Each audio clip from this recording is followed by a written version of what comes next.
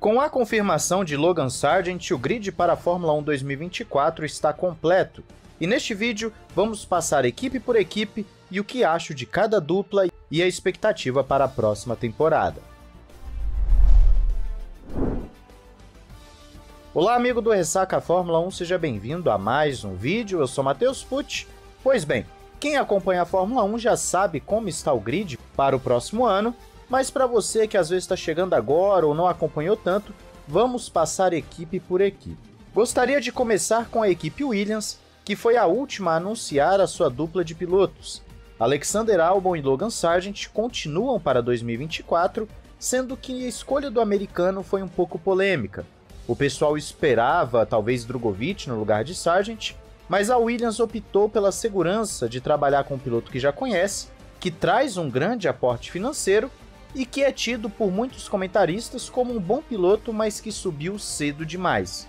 Se esse é verdadeiramente o caso, só vamos descobrir ano que vem. Mas fato é que Albon já se demonstrou um piloto capaz, um piloto que vai entregar pontos para a equipe, enquanto Sargent é uma grande incógnita e pode ser aquele cara que vai, entre aspas, afundar a equipe. A minha expectativa é que a Williams dê um salto um pouquinho maior no ano que vem, até porque está sendo muito bem gerida pelo James Valdes, que tem uma mentalidade de arrumar a equipe sem tomar promessas impossíveis, como fazia o pessoal ali da Alpine, por exemplo. Então há uma boa expectativa em cima da Williams, não de que vá brigar por pódios, mas quem sabe figurar um pouquinho mais entre os pontos, tendo um carro um pouquinho mais competitivo, já que é uma equipe que está passando por um processo até o momento muito bem sucedido de reconstrução. A Alfa Romeo é mais uma equipe que mantém a sua dupla de pilotos com o experiente Valtteri Bottas e o jovem Guan Yu Zhou, ou Zhou Guan Yu. A Alfa Romeo foi uma das grandes decepções da temporada 2023 e no ano que vem, na verdade, não estará mais na categoria, será a equipe Sauber, que é quem empresta o desenvolvimento, a equipe, para o nome Alfa Romeo. Então nós teremos uma equipe que não vai ter mais o apoio de uma gigante, porém chegando o apoio da Audi, que é maior que a Alfa Romeo, pelo menos nos, nas últimas décadas tem sido maior que a Alfa.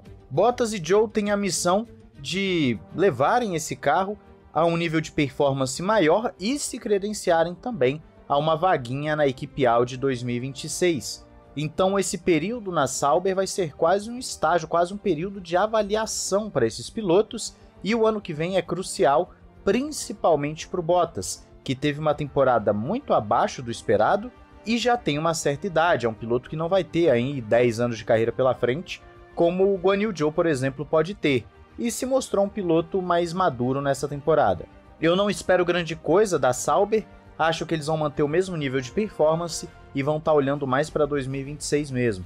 Não faria sentido injetar muito dinheiro num projeto que a recuperação seria muito difícil. Por isso, Alfa Romeo ou Sauber, no caso do ano que vem, é uma equipe que pode até mesmo se tornar a pior do grid em 2024. Na AlphaTauri nós temos uma mudança se comparada ao início do ano, mas se você olhar para o final da temporada não mudou nada. A dupla de pilotos será Tsunoda e Ricardo.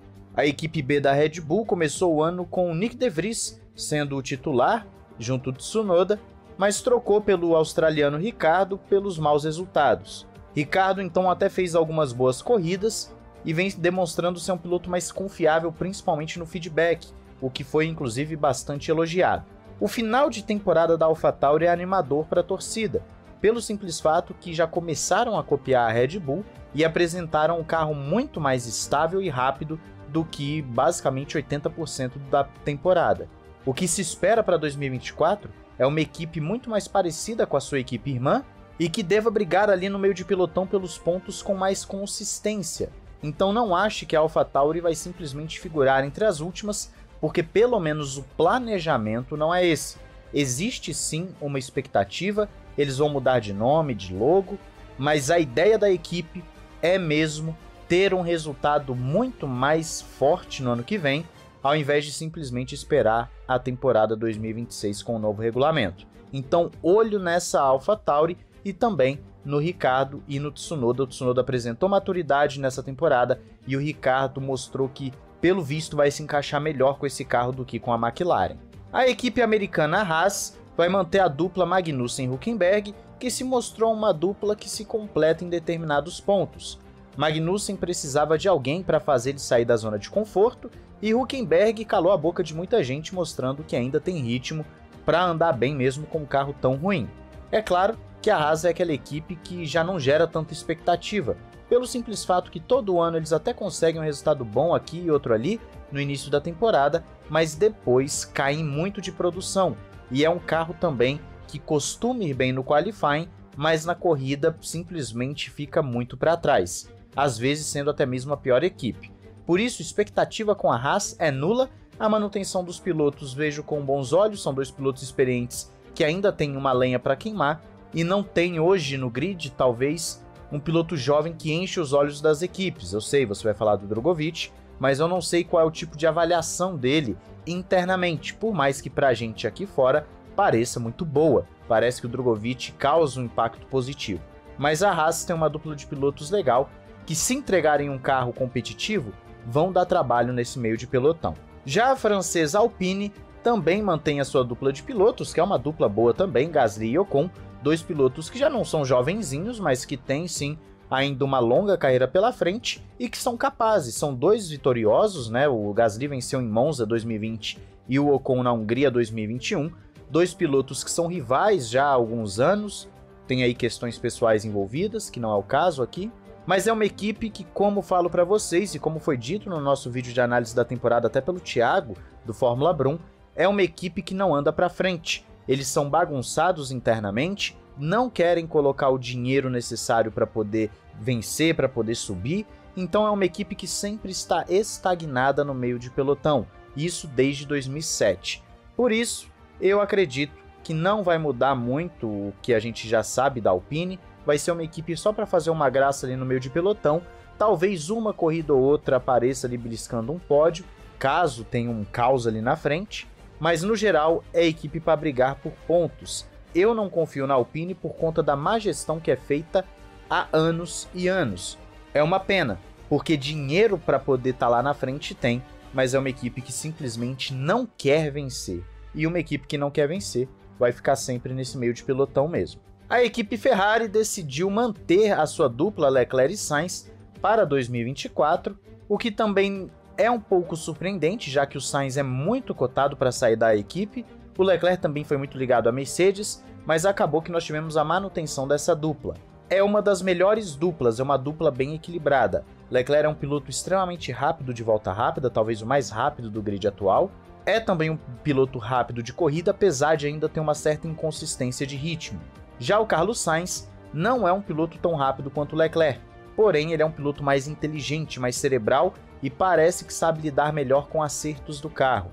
Então é uma dupla que se completa, tanto é que ficaram muito próximos no campeonato, os dois passaram por vários problemas na temporada e ficaram muito próximos na tabela de pontos. É uma dupla equilibrada e que pode sim causar muito dano, vamos assim dizer, se tiver um carro competitivo. A Ferrari teve seus lampejos na temporada, inclusive foi a única equipe que bateu a Red Bull, no caso em Singapura com Carlos Sainz, e há uma expectativa de um projeto muito mais refinado e rápido para o ano que vem, inclusive falando até mesmo em briga por título. Por isso, a Ferrari é a primeira equipe que aparece aqui que existe uma expectativa grande para 2024. A dupla é muito forte, se os meninos amadurecerem um pouco mais, vão dar muito trabalho, e também se a equipe conseguir corrigir alguns erros fundamentais de conceito, coisa que no final da temporada 2023 parece que conseguiram, podemos sim ter uma Ferrari brigando mais à frente, mais próxima da Red Bull. Vamos aguardar para ver, porque existe muita expectativa, na verdade sempre existe, né? Com a Ferrari. A dupla da Mercedes também continua com o heptacampeão Lewis Hamilton e o jovem promissor George Russell. Hamilton renovou por mais dois anos, depois daquela novela da renovação. Russell tem também um contrato longo com a Mercedes e é uma equipe que também existe muita expectativa, porém a realidade talvez seja um pouco mais dura para essa equipe do que para a Ferrari. Isso porque a Mercedes já confirmou que vai ter que fazer um carro do zero, um conceito do zero, com tudo que aprenderam nessas últimas duas temporadas. Então, para você alcançar a Red Bull ou até mesmo a Ferrari, é muito mais difícil. Você precisa acertar muito a mão no desenvolvimento do carro. O mais provável é que a Mercedes mais uma vez fique brigando ali por terceiro lugar e que a Ferrari tenha um gapzinho maior para a equipe. Hamilton ainda mostra que tem lenha para queimar, que é um heptacampeão com uma curva de declínio mínima, e eu digo mínima porque é natural da idade, as pessoas gostam de criar tempestade em copo d'água. Hamilton já tem seus 38 anos de idade, é natural que o piloto comece a entrar numa curva de declínio a partir dos 36 ali, 35 mais ou menos. Isso eu estou falando de estudos físicos sobre esportistas. E Hamilton ainda está em altíssimo nível, ele é aquela exceção, como nós já citamos o Alonso, por exemplo. Você vê que Schumacher, Raikkonen, Vettel, Button e vários outros campeões não conseguiram chegar aos 38 anos nesse nível de performance. Então Hamilton ainda tem o que demonstrar, enquanto Russell é aquela promessa que em 2023 confesso que esperava um pouquinho mais de consistência dele. É um piloto que sumiu em determinados momentos. Vamos ver se para 2024 ele consegue melhorar essa perícia com o carro e consegue ser mais consistente para entregar melhores resultados. Ainda mais se eles quiserem bater a Ferrari, que, como eu disse, em tese, falando hoje, a Ferrari teria um leve, uma leve vantagem em desenvolvimento para o ano que vem.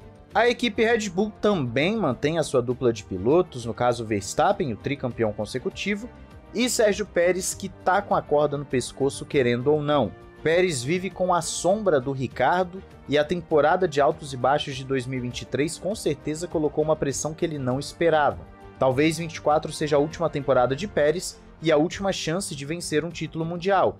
Ele vai ter que ir pro tudo ou nada, vai ter que realmente apresentar uma performance muito mais forte. Lembrando que as vitórias que ele teve no início da temporada 23 tiveram muito do impacto do Verstappen estar tá largando mais atrás. Então Pérez meio que nunca teve uma chance real contra o Verstappen e ele vai precisar subir um nível se quiser bater o holandês. Até porque já estão comentando por aí que tem uma cláusula no contrato do Pérez que se nas primeiras corridas ele não performar, Daniel Ricciardo assumiria e o Pérez nem iria para AlphaTauri, quem iria seria o Liam Lawson. Então, vamos ficar de olho nisso aí, porque onde há fumaça há fogo, quem acompanha a Fórmula 1 há alguns anos sabe muito bem disso. Mas a expectativa para a Red Bull é manter um carro de altíssimo nível, o Adrian já está trabalhando em melhorias, e o Verstappen, obviamente, está no auge da carreira. Vai ser uma dupla muito difícil de bater, então, se a Ferrari, por exemplo, chegar a brigar lá com a Red Bull, você vai precisar ter um piloto extremamente inspirado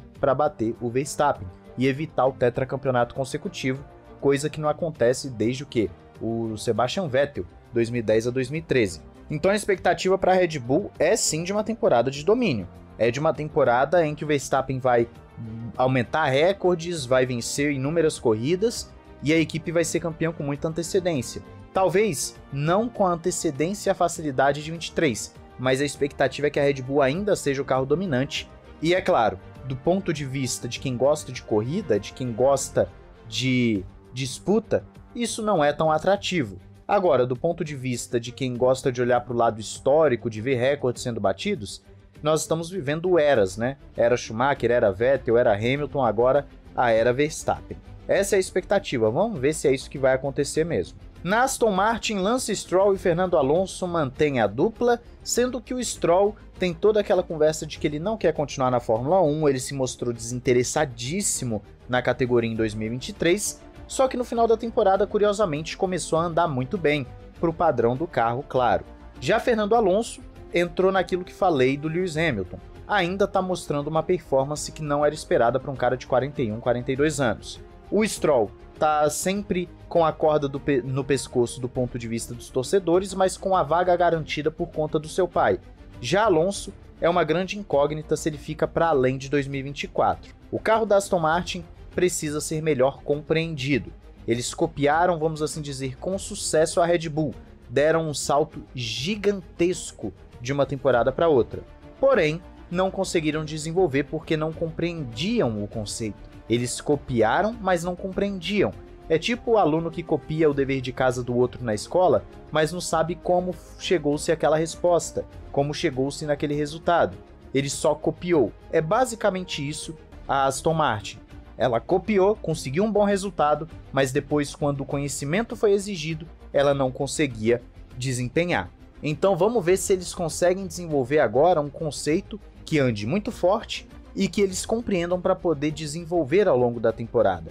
Vocês viram claramente como as equipes evoluem ao longo de um ano.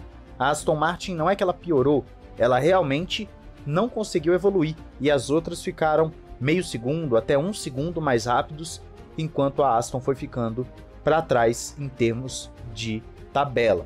Existe uma expectativa, claro, porque é uma equipe que deu um salto muito grande nessa temporada, mas somente em 2024, ali na pré-temporada, a gente vai saber se dá para confiar na Aston ou não. Por último, mas não menos importante, temos a McLaren. McLaren que tem uma dupla de pilotos extremamente promissora. Lando Norris e Oscar Piastri também mantendo a dupla de 2023.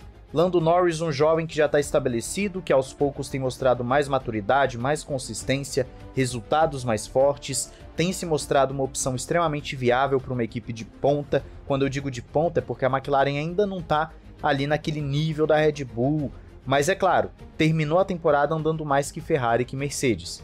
Então há uma expectativa do salto da McLaren eles conseguiram, dentro de uma mesma temporada, dar um salto de um segundo. Eu não me recordo de ter visto isso desde 2006, que é quando eu acompanho mais sistematicamente a categoria. Não me recordo de ter visto algo parecido. Uma melhora de um segundo num espaço de tempo tão curto dentro de uma temporada, e esse um segundo não é um segundo com todo mundo evoluindo um segundo. É um segundo com todos evoluindo ali meio segundo e ela conseguindo ainda tirar um segundo de desvantagem, ou seja, melhorou um segundo e meio, vamos assim dizer. A McLaren tem um salto fantástico. Há muita expectativa. Já vejo jornalistas, analistas falando que a McLaren pode ser a principal ameaça para a Red Bull ano que vem. E vamos torcer para que a McLaren volte a brigar por vitórias, porque é uma equipe gigantesca. Estamos falando de uma das grandes da história da categoria e que seria muito bom ver Piastri, que é um prodígio, e o Norris, que também é uma grande promessa, brigando roda com roda com Pérez e Verstappen. Seria muito legal. Eu torço muito por isso. Estou confiante de que o Zac Brown vai fazer um bom trabalho e eu sei que o Zac Brown não é o chefe de equipe, mas ele é o cara que tem em todas as camadas da McLaren já há alguns anos melhorado a equipe. Então vamos ver o que, que a equipe consegue trazer para 2024, mas a expectativa é altíssima para a McLaren. Eu quero saber de você qual a dupla mais forte e qual a dupla que você acha que vai surpreender. Qual o carro que você acha que vai chegar para brigar com a Red Bull? Diz aí nos comentários, não esqueça de se inscrever e ativar o sininho para não perder nada e te convido a entrar pelo nosso link da Amazon aí, você compra através do nosso link e acaba nos ajudando. Eu agradeço demais quem está entrando por ele, muita gente já está entrando. Tá aí na descrição, talvez esteja no primeiro comentário fixado. E também te convido a entrar na Instant Gaming para comprar seus jogos e gift cards com preços muito mais acessíveis pelo link também do canal aí na descrição. Um grande abraço, valeu e falou!